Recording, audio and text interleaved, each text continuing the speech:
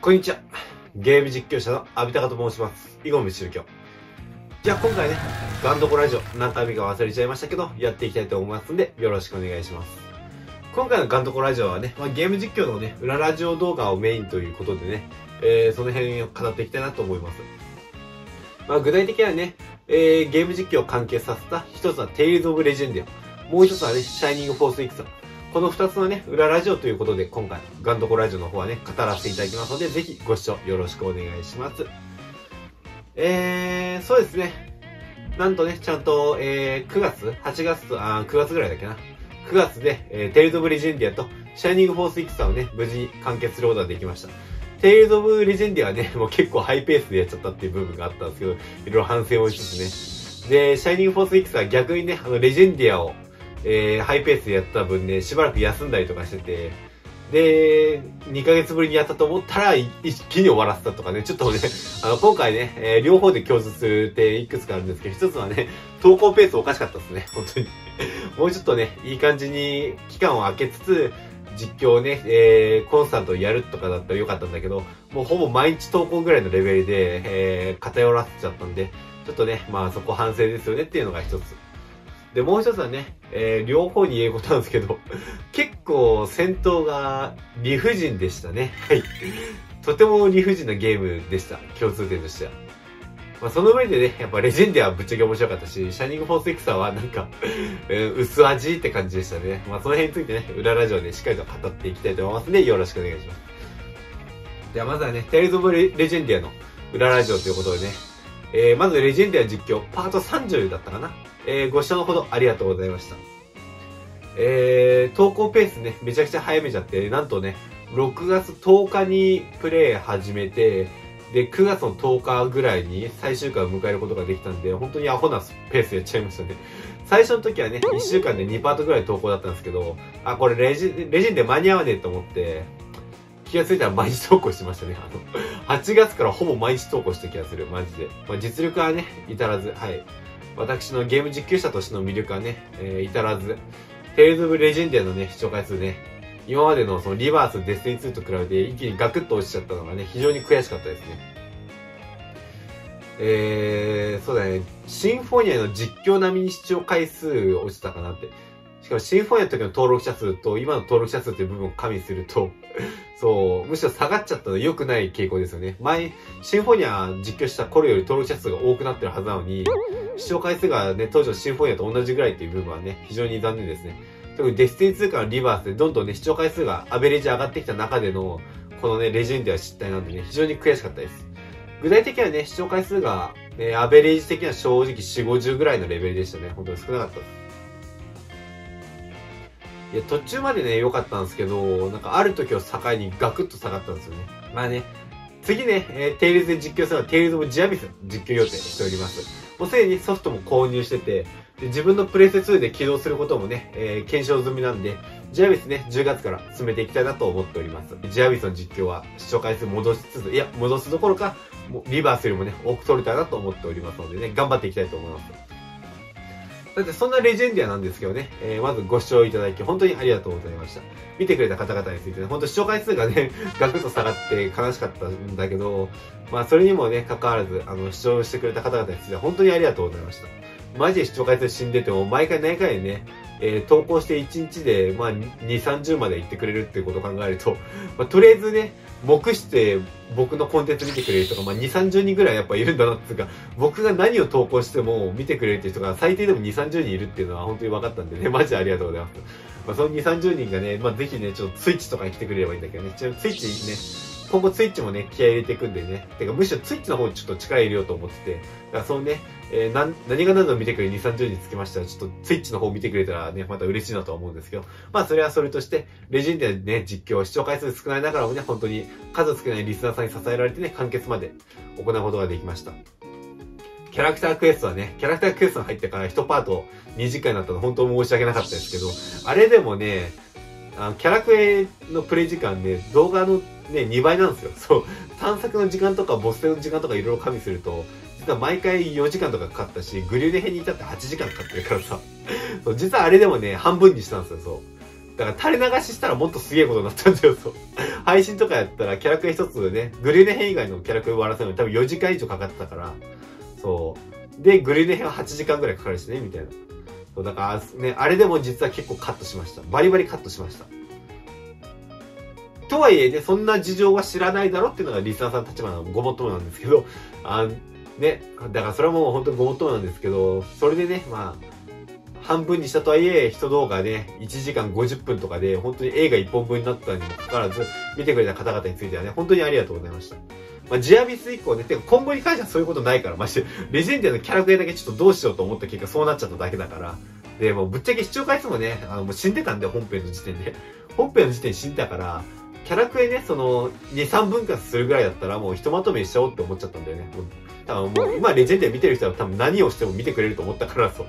逆にキャラクエから新規来るとか絶対思えなかったから、だったらもうそれをパート数を抑えることを優先して、ヒット動画1時間50分でいいやみたいな感じでね、したんですけど、ついてきてくれた方々について本当にありがとうございました。そんなレジェンディアなんですけどね、楽しかったかどうか。結論、楽しかったっす。やっぱさすがテイルズだなと思った。けど、戦闘はクソだった。そういうね、こう。じゃあね、それぞれあの、レジェンディア実況ですね、実際にやってみて、特に初見でね、レジェンディアやってみて、良かった点と、えー、まあね、ダメな点だ、いろいろとね、語っていきたいと思う。まあ、良かった点なんだけどね、まず一つ、本編はね、やっぱ噂にたがわずね、すごい、いや、むしろ、噂以上、予想以上にすごいね、作品でした。本編はね、あいつも通りテイルズって聞いたんだけど、いやいや、そんなことなかったですね。あの、本編自体もすごい、他のテイルズ以上に細部、ね、やりとりとかいろいろとね、細かく語られた上で本編進められたんで、なんかすごいね、わかりやすかった。っ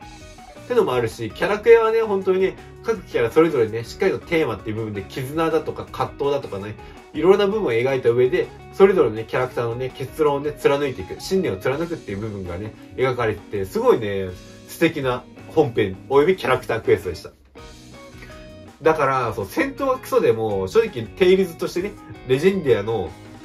トーリーがすごく気になっちゃって、だからね、結局最後までやりきれたってのがあるんですよね。まあ、戦闘本当に拷問だったけど。で、BGM もね、良かったね、本当に。まあ、BGM の方はちょっと欠点言うと使い回しがね、いくつもあったんで、あの BGM ってどこのダンジョンだったっけって言われると、ちょっと実は思いつかない部分はあるんですけど、逆にね、そう、毎回 BGM がね、流れて、あ、来たこの BGM とか思ったし、てかね、そもそも紙 BGM すぎてね、そう、探索中の BGM ね、噛みすぎて、結構テイズにしては僕珍しく探索は全く苦じゃなかったんですよね。そう、全然ね、あの、やりました。BGM が良すぎて、探索中もね、なんか、こう、心地よいまんまね、あの、エンカウントしないままずっと探索してっていうのもあったし、そう、非常に楽でした。で、それに加えてね、ダンジョンギミックね、あんまなかったんですよね。そう。まあ、謎解きギミックとかあったんだけど、他のテイルズって、その謎解きのね、エリアの中でも普通にエンカウントするんだけど、だから結構イライラすることもね、あったんですよ。特にシンフォニアめちゃくちゃイライラしたんだけど、レジェンデアは謎解きのね、ギミックのエリアでは、エンカウントしないんで、まあ、それでね、結構集中できたというかね、ストレスがなかったのが一つ。で、さらに、ダンジョン自体もね、結構シンプルだったんですよ。まあ、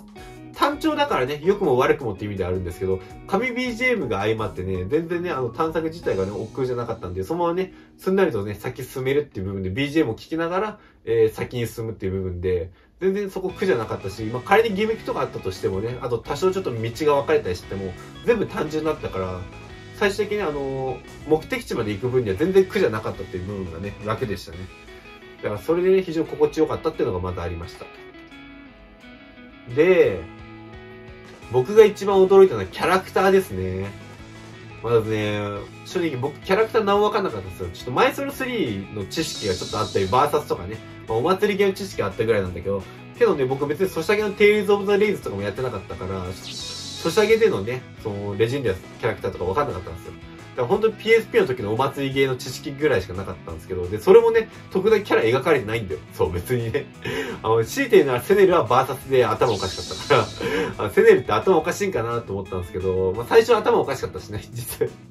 けどね、まさかね、セネルが想像以上にね、主人公として成長していって、すごい落ち着きがあって悟りを開いた感じもありつつね、いろいろなね、人としてのね、そう感情的な部分もあった上で、それでもね、信念を貫くっていうね、ちゃんとテイズの主人公してること、まず驚きました。セネルに関して。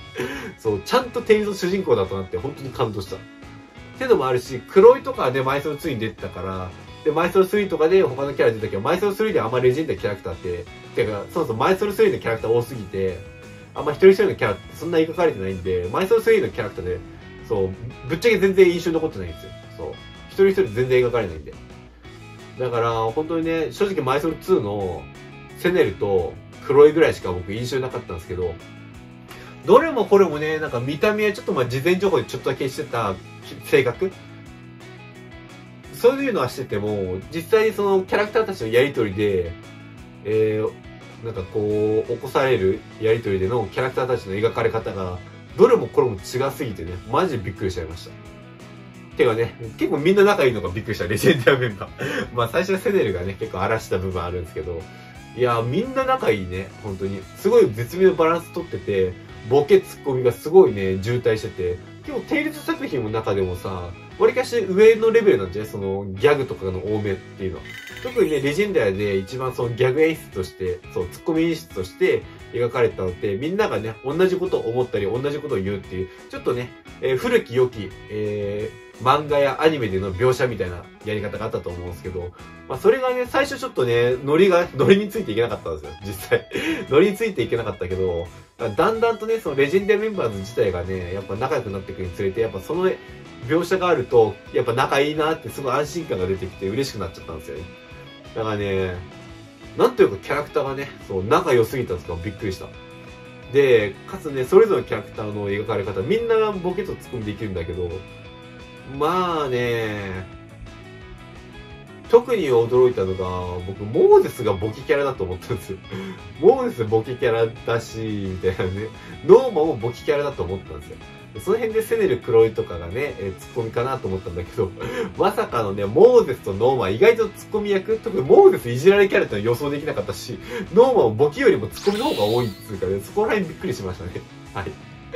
その J とかツッコミ役かと思ったら J はどちらかというとモーゼスいじりまくるからちょっとボケキャラの寄りに行くし、まあ、グリューネ姉さんイメージ通りだったからね、そういった意味だと。いやいや、キャラクエでの正体はぶっちゃけびっくりしてるよ。いや、シュバルス何か関係あると思ったけど、まさかね、あんだけ真面目キャラになるとはね、とは思った。うん、いや、てか、そのグリューネ編の時点で、記憶戻る前からちょっとね、いろいろ仲間のことを大事に思った上で、グリューネ一人で旅立っていくとかもあったし、そう、本当にね、いろんなキャラクターのね、そう、知られざる一面というか、やっぱね、お祭り芸とか、ちょっと説明聞いただけでの、えー、話ではね、全然想像できないようなね、キャラクター演出があってね、すごく驚きましたし、レジェンデはみんな仲いいのがまだびっくりした。で、さらにそんなレジェンデメンバーズだからこそ、本編のね、あの、整合性とかが取りつつも、すごいね、どんどんあの本編を通じて仲良くなっていく様が見れて、すごい良かったです。あのね、よく、良い意味でね、やりとりがくどいんですよ、本当に。あの、他のテイルだったらね、スルーしそうな発言とかやりとりとかあって、で、僕よく今までそういうことにツッコミを入れてみたいなゲーム実況スタイルだったんですけど、あの、レジェンドはすごい、本当に。プレイヤーが思ってること必ず誰か言ってくれるんですよ。あ、お前が言ってくれるんかいみたいな。もうゲーム実況者殺しみたいなぐらいで、細かくね、くどく突っ込んだりとかね、やりとりしてくれたりするんですよ。で、そういう要素もあるからこそ、そう、他のテレビ作品よりもキャラクター同士のやりとりがね、多く感じるから、で、プレイヤー視点としても、そのやりとりが多く感じて、ね、こいつさっきああいうやりとりしたよなとか、あの時もああいうやりとりしたなっていうのもあるから、だからキャラクターの中の良さの説得力がめちゃくちゃでかいんですよね。そう、大きいんですよ。だからちゃんと納得いく仲の良さっていうのもあって、だからこそあの細かいやりとりがね、来ても、本当にくどすぎるぐらいあったんですよ。そう。だから結構本編の描写が長かったりとかもしちゃうんだけどね、そうゲーム実況者殺しではあるんですけど、なんたそういうやりとりもね、適宜カットしたりとかもしてたんですけど、それにしてもね、やっぱやりとり多くて、仲の良さがな、すごいなと思いました。だからね、レジェンドは本当にね、丁寧でした。本編とキャラクターに関しての描き方が丁寧すぎて、結構そういった意味だとね、本当お話とかキャラクターの魅力っていう部分だと、程度の中でもね、かなり上位の方に入るから、だからね、戦闘がクソと言われてレジェンダーでも、やっぱ好きな人はとことん好きなんだなっていうのがね、すごくわかりました。さて、そんなレジェンディアのね、欠点なんですけどね。まあやっぱ、逆に言うと一つしかないっていう部分も素晴らしいと思うけど、ある種致命的でもあるね。戦闘クソゲーでした、マジで、本当に。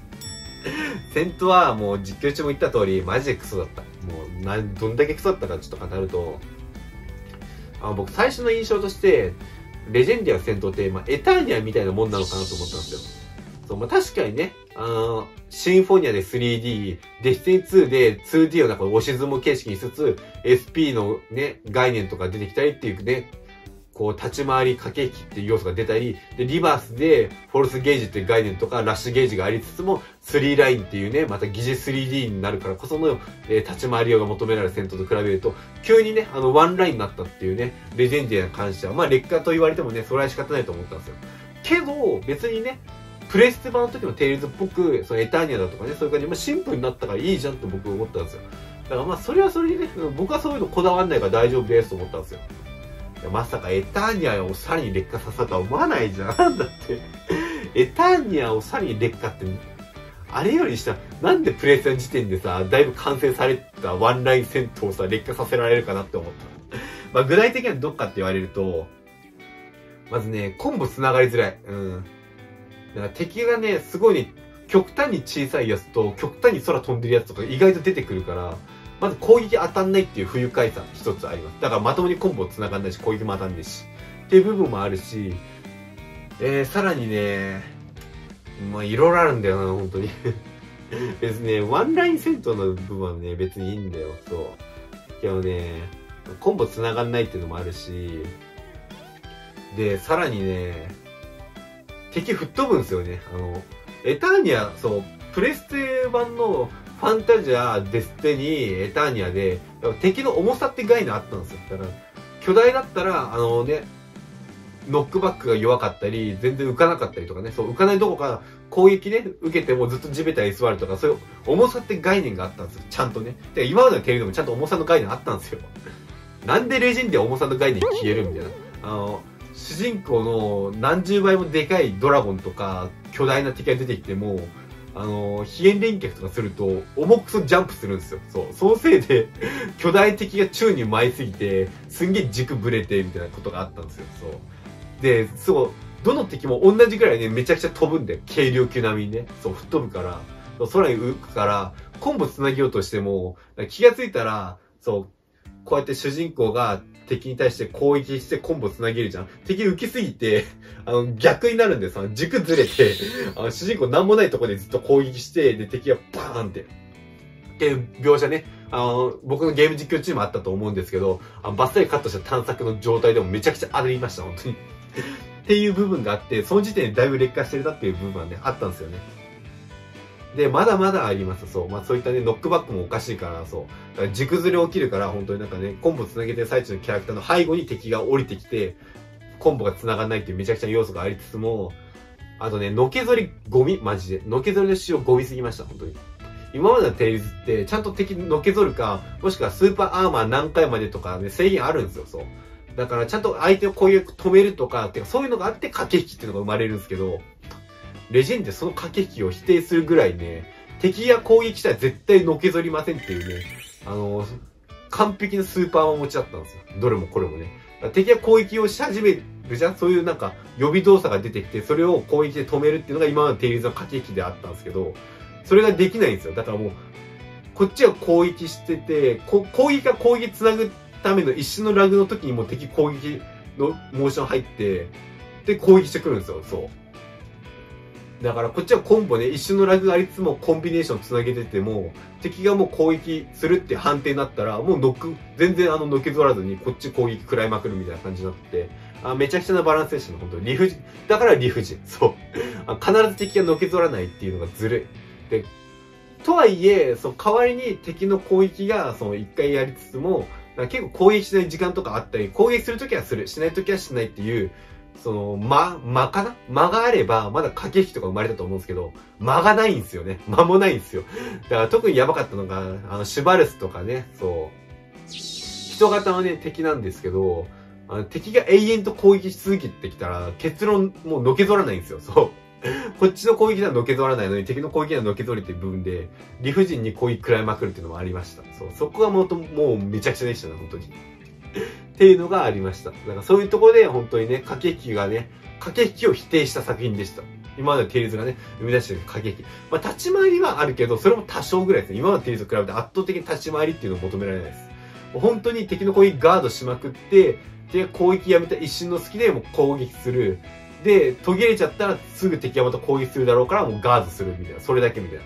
だから、だから結論正直ゴリ押しの方が強いっていうね。なんか、うまく組み立てるよりも、ただご了承して、そう、シンプルにご了承した方が勝てるっていう部分はあってね、そう。だから実際ワルター戦はそれで勝ったしね。そう。本編の時のやりとりだけど。ワルター戦、ワルターはもうずっとこうバババババって攻撃してて、は、こいつ、攻撃ずっとするからずっと昼間ねえじゃんみたいなことあったから、だからもう結論攻撃制裁地に入るから、そう。他のキャラガードしてる間にこっちが入るから攻撃して、相手の攻撃が終わった瞬間、そう、すぐ本来だったらすぐ攻撃入るからのけぞんないんだけど、一瞬のその間を使って、そう、攻撃したところを、攻撃してひるんだところをもうずっと攻撃しまくるっていう。だからとりあえずもうやけくそ何も考えないで戦った。しばらく戦はちょっと考えたけど、そう、それでも立ち回りがね、本当にシンプルでした。っていうのもあって、なんか今までのテイルズ作品が築き上げた過激立ち回りを結構ね、否定したぐらい劣化な戦闘でしたね、みたいな。他にも栄唱も厳しくて、敵の小術の栄唱を止めるのに、すごい時間つうかね、そう、工程が必要なんですよね。攻撃にね、めちゃくちゃヒットさせないと、あの、敵はひるんで、栄唱キャンセルとかしないんで、そこももうめちゃくちゃでしたね、みたいな。だから今までのね、テイルズ作品だと、まあ、普通に一回食らっただけ栄唱はね、中断するけど、代わりに栄唱が早かったりとかいろいろなね、部分あったからこそ、こっちとしても立ち回り駆け引きとか意識したんだけど、今回の作品は、普通にほぼほぼね、のけぞらないっていうゴミみたいなシステムのせいで、そう、演習を始めたらもう全くあの相手がね、そう、ひるまないから、もうどんだけレンガ弾とかでね、めっちゃヒット稼いでも、結果的は小術ぶっ破して終わりみたいな、もうめちゃくちゃでしたっていうね、感じでした。以上、戦闘がゴミでした。本当に。あの、マジで戦闘はクソゲーだった。なんかあぶっちゃけ僕、クソゲーと言われて、テイズ・オブ・ザ・テンペストの方が戦闘はまだ楽しかった。まあ、当時の小学生の思い出補正もあるかもしれないけど、正直テンペストの方がまだ駆け引き立ち回りがあったから楽しかったです。レジェンディアはなんか、今までのテイルズが築き上げた戦闘のイロハをなんか否定したというか そうでしたね。なんか劣化させたって感じでしたね。まさかプレステ版のエターニアどころか。だってプレステ版のファンタジアやデスティニーの方が戦闘楽しかったもん。あっちはちゃんと駆け引き立ち回りとかあったから。なんか、レジェンディアその辺なんか全部劣化したなっていう感じ。まあ、逆に言うと、まあ、正直言うと戦闘ぐらいしか僕は欠点はなかったなと思いました。で、さっきね、テイルズのね、そう、あのレジェンディアのキャラクターが魅力的だし、本編もすごく気になるから、だからやれたっていうのはそこにあって、だから戦闘がクソゲーだった以上に、本編とキャラクターの魅力があまりにも神ゲーすぎて、あのね、あのついつい続きがやりたくなって、あの、無事に完結できたっていうことになりました。だから本当にちゃんとテイルズしたってことで嬉しかったです。戦闘さえね、良ければね、絶対あれで文句なしは神ゲーだった。戦闘のせいでね、やっぱ賛否両論あるらしいですね。ネットで調べたら、やっぱ、ここもいろいろあると思うんですけど、あの、ゲームにおいて何を求めてるかが結構ね、大事で、そこがね、レジェンドは賛否両論にね、影響すると思うんですよ。皆さんの中でもあると思うんですけど、ゲーム性とストーリーの部分、これをね、何対何で、そう、大事にしてるかっていうのがね、非常に大事になってくるんですけど、例えば、ゲームに対して、まあ、ゲーム性はついで1、2割ぐらいで、で、ストーリーが8、9割ぐらいのウェイトを占めて、本当ストーリーが良ければ全て良しって人からしたらレジェンドは神ゲーだし、逆にね、定律といったら戦闘、そんな戦闘の比重で8割ぐらい置いてて、あの、ストーリーに関して2割ぐらい、まあ、そついででストーリーがあって、なんかこう、いい塩梅になるよね、みたいな方からしたら、あまりにも戦闘がクソゲーすぎて、だからレジェンドはクソゲーって言っちゃう気持ちもわかるんですよね。だから僕もね、確かね、どっちの気持ちもわかるんですよ。で、その上に、じゃあ、アビタカの意見を教えようって言われると、僕はね、結構ね、テイルズに限らずゲームにおいては、ゲーム性、まあ、戦闘とかですけど、ゲ戦闘とかなんかそうだもの、ゲームとしてのシステムって部分ですね。ゲーム性が6割と、6割と、ストーリーが4割かなって感じなんですよね。そう。だから結構僕どちらかというとね、そう。半々よりかは僕ちょっとゲーム性の方に重きを置くんですよ。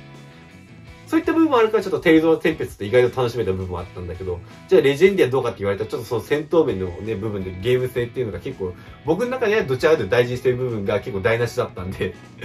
けど、ストーリーはね、確か良かった。キャラクター魅力的だから、僕もね、確かレジェンディアね、クソゲーとは思わないです。ソゲーとは思わないけど、正直手放して神ゲーって言えるほどの作品かって言われたら、僕のね、その大事にしてるその比重っていう部分、ゲーム性とストーリーっていう部分の比重の割合的に言うと、僕は手放して神ゲーとは言えないです。だからまあ、うん、面白かったなぐらいだけど、まあ、両ゲーぐらいかな。そう、両ゲーではありますね。神ゲーとは僕は思わないです。っていうぐらいでしたね。だからね、本当に素敵な作品でした。そう、両ゲーではある。そう。いや、本当にね、レジェンデがリメイク求められている理由は非常にわかりました。確かにあれ戦闘やり直して、本編とキャラクター魅力そのままにしたら、もう神ゲーです。化けます、本当に。これとアライズみたいな戦闘だったらマジで化けるの、本当に。っていう感じでした。レジェンディアね、非常に楽しく実況することができました。それはね、まあ僕自身のモチベもあるんですけど、あの、数少なく見てくれた皆さんのおかげでもあります。本当にありがとうございました。っ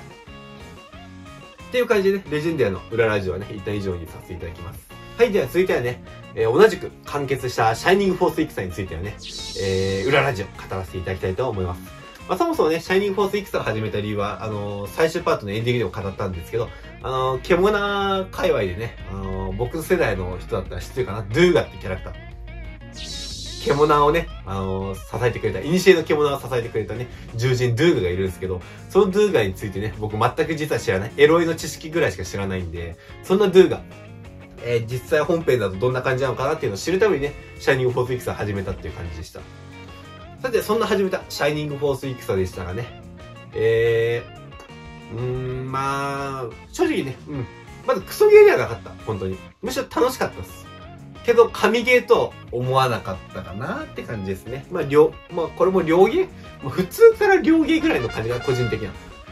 あつまんなくはなかった。うん、つまんなくはなかったです。どちらかというと楽しいけど、あんま正確には合わなかったが、楽しすぎることはなかったですね。はい。じゃあそんなね、シャイニングフォースイクサについてね、ちょっといろいろと語らせていただきます。まずね、シャイニングフォースイクサもね、ご視聴ありがとうございました。シャイニングフォースイクサはね、あの、ドゥーガのおかげが死んだけど、視聴回数はレジェンディアより良かったですね。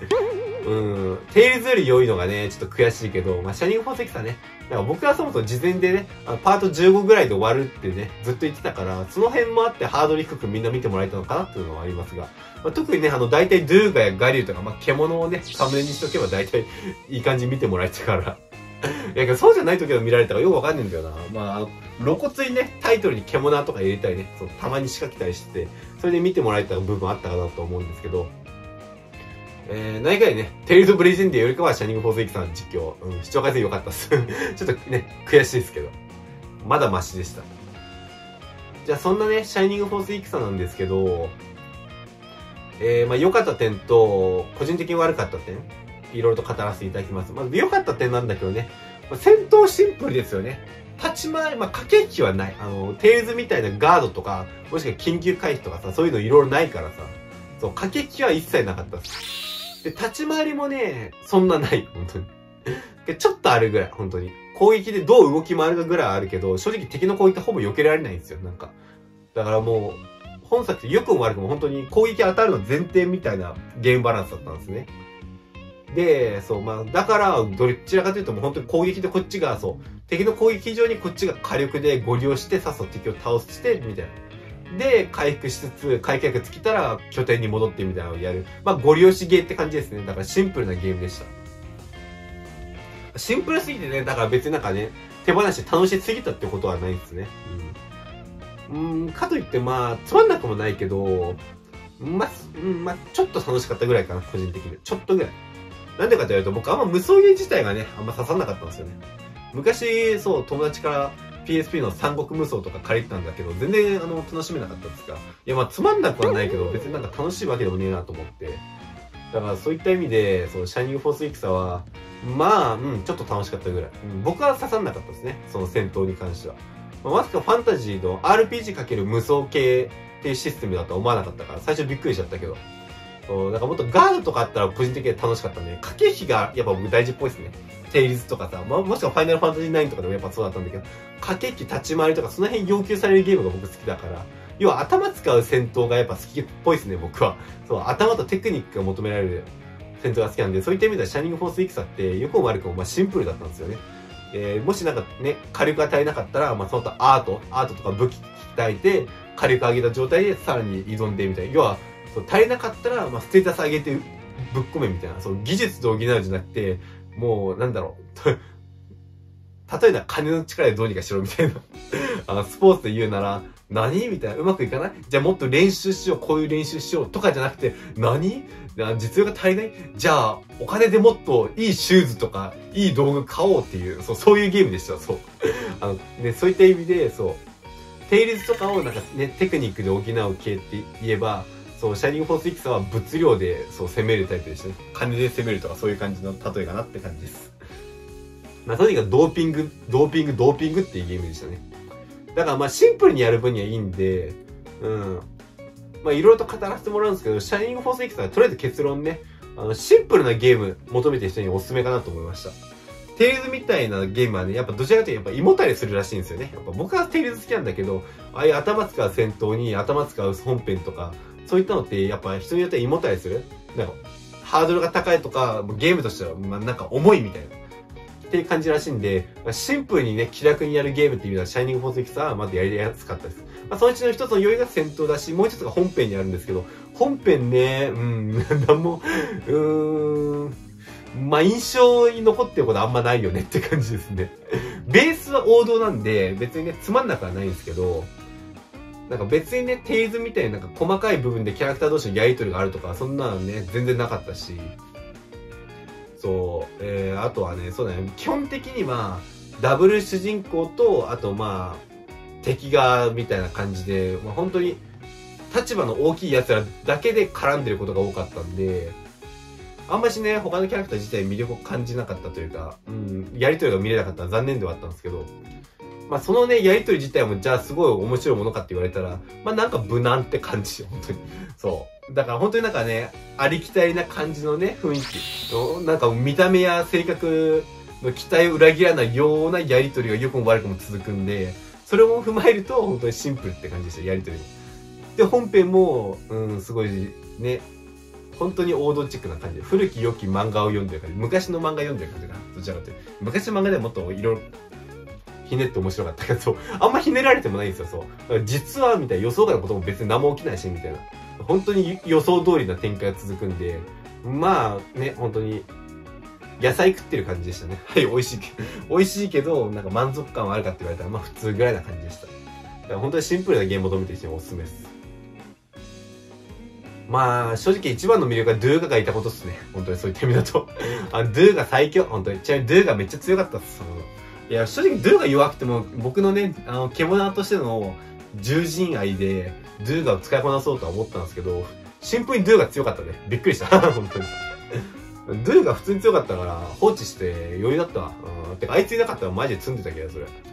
あと、ガリュウね。ガリュウ、本当に、最後、ラスダン、ドゥーガとガリュウ連れてきてよかった。本当に。あれ、パークリンとか、アミタリリで攻略できたビジョン見えねえよ、本当に。ドゥが好きでよかった。ドゥが好きっつうか、ドゥがエッチな目で見ててよかった。本当に。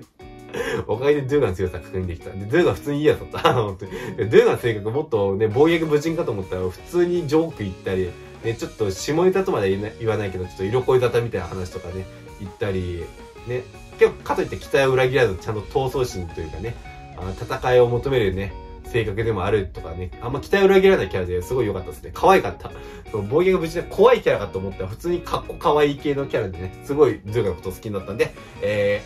ー、そうですね。リースゴーさんのエロ同人誌な、本当あの頃買ってたらなってすごい後悔してます。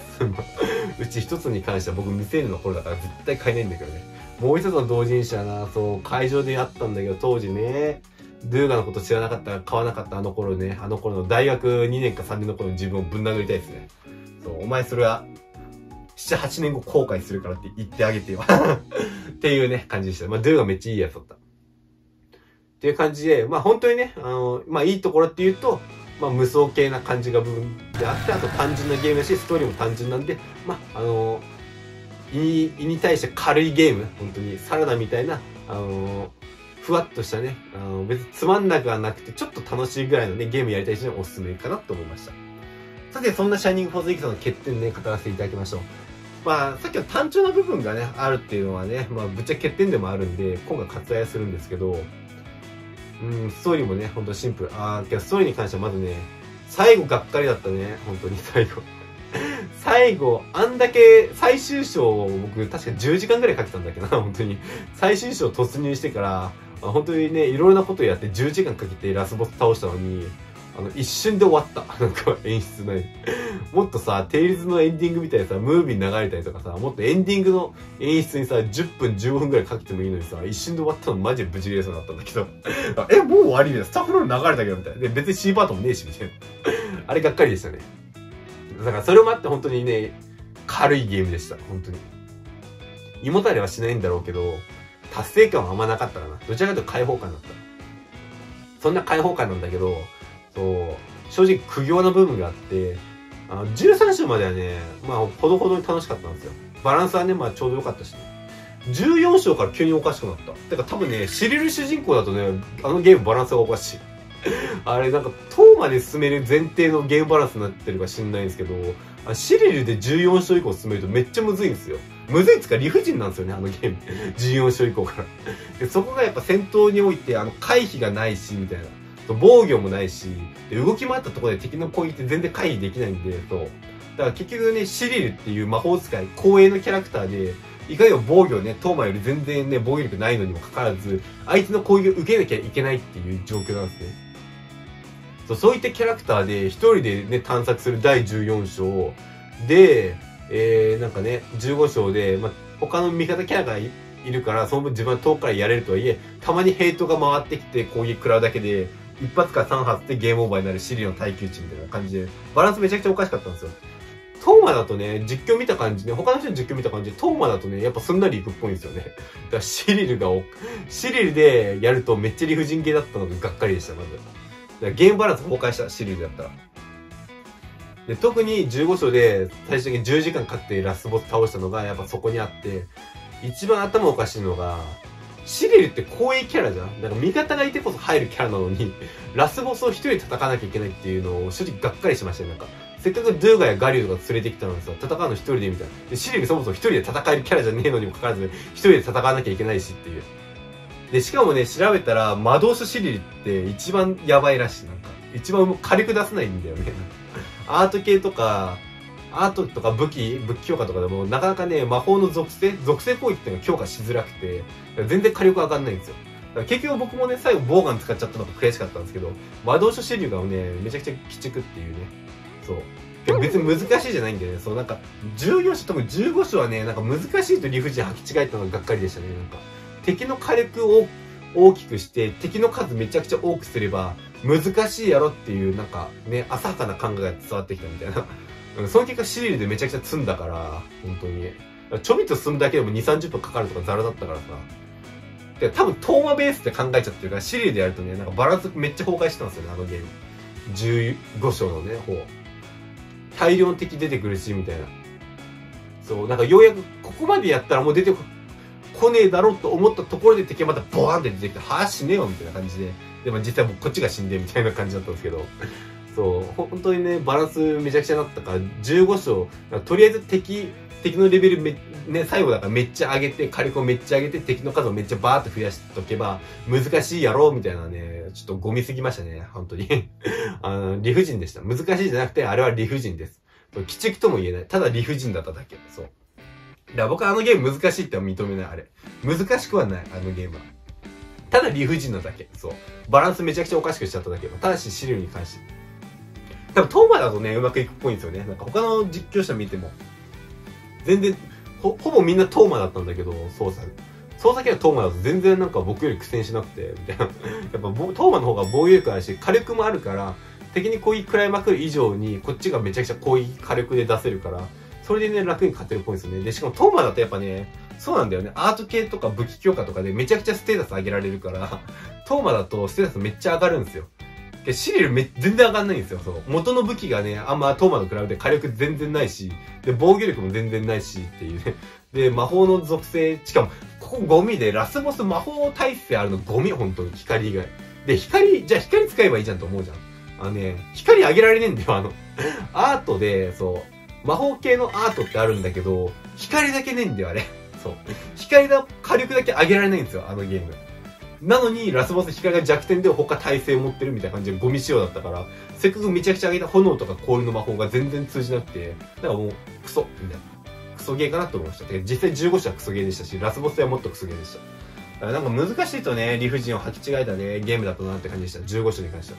だからね、そこもっとバランスちゃんとしてれば、僕は正直ね、まあ、ゲームはシン、ね、ゲーム性はシンプルだし、ストーリーは、まあ、薄味だったけど、まあ、面白かったね、みたいな、両ゲーかなって、ね、神ゲーとまでいかなきゃね、しっかりとしたゲームで両ゲーでしたって言えたんだけど、14、15章のバランス崩壊すぎた。てか、シリルに関しては。だから、そのせいで僕はね、あのなんか、クソゲーとまでいかないけど、まあ普通から両ゲーの間ぐらいかなって感じで結構揺れ動いてます。まあ、トーマでやる分にはいいらしいからね。だから皆さん、シャイニングフォースエキさん今更やるんだったら、まあ正直トーマばっか鍛えておきましょう。シリルはやると僕のような目に遭います。あの、15章で10時間時間かけるぐらい苦戦するかもしれないです。もしかしシリルでやるんだったら、ボウガンシリルがおすすめらしいんで、そう、魔導士シリルが一番ダメらしい。やっちゃいけないらしい。あのゲーム、そう、魔法、シリル魔導士のくせに、魔導士のね、やり方が一番難しいっつか、ね、ゲーム性に合ってないっていうのもあってね、で、シリルの耐久値もゲーム性に合ってないし、っていう感じでした。うん、まあ正直そこら辺がでかすぎるその欠点が。そう、せっかく13章まで何回楽しめたのにさ、うん、まあシリルでちょっと大変だったけど、それでもほどほど拠点に戻っては回復薬補充して、いろいろちょっと立ち回りとか魔法のね、入れ替えとかしながらみたいな。魔法なかったらってボーガンただポンポンポンポンってやってるだけでしょ。トーマもただ剣振ってるだけでしょ。楽しくない だから僕むしろなんか13章まで楽しめたんで、シリルの、魔導書シリルの回ちょっと楽しかったかもしれないね。そう、あの、敵がね、属性耐性とかあった時、魔導書いろいろ入れ替えたりとかして、それでちょっと立ち回りがあったから、まだ楽しかったけど、ボウガンシリリやトーマだったら、そもそも多分もっと楽しくなかったかもしんねえな。うん。けど、そのせいでラスね、15章、クソほど10時間 ?10 時間かかっちゃったしてね。うん、良かったのか悪かったのかよくわかんないです。じゃあ10時間かけてクリアしたね、最終章もあんま視聴されてないっていう、そう。一番最終回が視聴されてないっていうわけわかんない状況がしたかっていうのは、まあ、ただ愚痴なんだけど。っていう感じでした。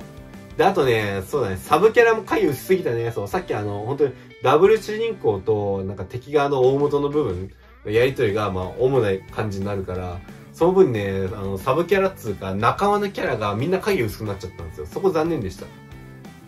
最初にね、仲間やったガドフォールとかさ、ね、メーベルとか、もう、まあ、ガドフォールはまだドゥーガ絡みでちょっと途中まであったけど、メーベルもう影薄くなったそう。アミタリリアちょっと操られた感もあったけど、代わりにファークにめちゃくちゃ影薄くなったし、みたいな。で、ドゥーガもう、なんか自分が操られたやつ終わって以降も影薄くなるし、みたいな。正直、キャラがみんな影薄かったっす。そう。そのせいで、なんというか、やっぱテイルズってすごかったんだって痛感したね、そう考えると。テイルズって本当に主人公だけじゃなくて仲間全員の描写しっかりとね、均等なぐらいに、もちろんその上で主人公一番描くけど、次点でヒロインだと思うけど、それでもね、どのキャラ全員、6人とか8人全員のキャラ描写しっかりしてるのが、やっぱテイルズすげえんだなと思って、シャイニングフォースイクサもそういった意味だと仲間のキャラクター結構描写捨ててたんで、うん、そこ残念でしたね。特にドゥーガの描写はもっと楽しみにしたのに残念でした。まあ一応ね、あの、各章ごとで、なんか休憩中にね、キャラクターとお話しするっていうのはできるんですけど、まあにしてもだよね。にしてもちょっと本編で活躍なさすぎて、影薄すぎたよなっていうのは正直残念だったんで、うん、まあなんかシャイニングゲーってそういう感じらしいです。シャイニングシリーズは、なんかやっぱ、調べれば調べるほどやっぱ共通して出てくるんですけど、あのゲームはあんまストーリーに期待しちゃ、期待しちゃダメらしいですね。とりあえず。そう、シャイニングシリーズはストーリーにはね、期待しないみたいな。とりあえずね、無心になってやるゲームみたいなものらしいんで、まあ、むしろストーリーに期待しちゃった僕が悪いって感じでした。まあ以上、えー、シャイニングフォースイクさんのね、実況の裏ラジオでしたけど、えー、シャイニングフォースイクさんの実況もね、見てくださって本当にありがとうございました。えー、では以上、これでね、アビタが完結させた、テレード・オブ・レジェンディアの、えー、裏ラジオと、えー、シャイニングフォースイクさんの裏ラジオ以上になります。というわけで、今回ガンドコラジオは、えー、各ね、2作品の実況に関する裏ラジオの内容でした。ご視聴いただきありがとうございました。